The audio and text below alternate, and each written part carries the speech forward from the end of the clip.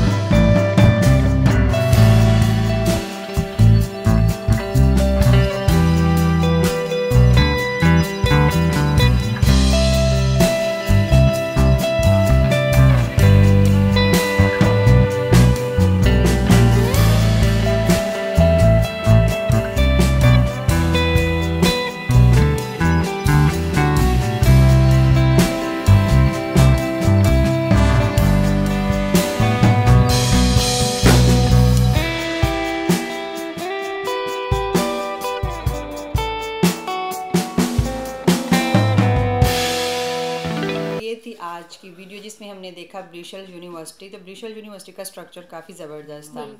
और ये भी अच्छा था कि उन्होंने बताया कि पीछे से इस पर डबल डेकर बस आती है और मतलब यूनिवर्सिटी के अंदर भी बस चलती है क्योंकि काफ़ी ह्यूज रेप अच्छा, कल हमने देखी थी चिटाग्राम चिट- चाटोग्राम। चाटोग्राम के अंदर वो जो मैंने आपको ट्रेन का बताया था वो कमेंट आ रहे थे कि वो यूनिवर्सिटी की ही बस है। उसी के ऊपर ही ट्रेन है? हाँ ट्रेन है सॉरी उसी के ऊपर ही बच्चे आते हैं और उसी के ऊपर ही जाते हैं। ये तो काफ़ी बस का तो सुना था लेकिन ट्रेन का फ़र्स्ट ट्रेन का ये था मुझे लगा था कि ये वैसे ही उन्होंने मतलब कोई फ़ंक्शन है इस वजह से वो अंदर हाँ। लेकिन आपने देखा था कि वो काफ़ी हिली एरिया में थी। हाँ। और उसका व्यू बहुत ज़बरदस्त था। वाटरफॉल जो थी वो सबसे ज़्यादा ज़बरदस्त थी हमारे लिए। यूनिक थी कि जी यूनिवर्सिटी के अंदर ही सारा वो आपको व्यू मंदिर सारा कुछ नज़र आ रहा। यूनिवर्सिटी भी लेकिन इसकी भी देखी जाए तो जगह बहुत ज़्यादा हाँ, थी और काफ़ी मतलब मस्जिद भी थी अंदर पुलिस स्टेशन भी था। लेकिन वीडियो अच्छी बनाई हुई थी जिन्होंने वीडियो बनाई है बहुत ज़बरदस्त वीडियो बनाई थी क्योंकि उन्होंने ईच एंड एवरीथिंग हमें क्लियर करके बताया।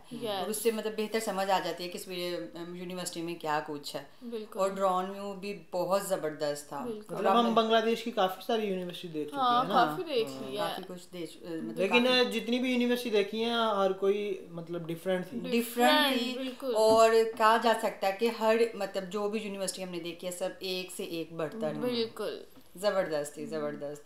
तो गाइज़ आपको वीडियो कैसी लगी? आप लोगों ने कमेंट सेक्शन में कमेंट करके ज़रूर बताना। वीडियो को लाइक एंड शेयर करना चैनल को सब्सक्राइब करना नहीं भूलना। मिलते हैं नेक्स्ट वीडियो में। अपना ख्याल रखिएगा। सुस्त ठाकुन भालो ठाकुन थाकुन।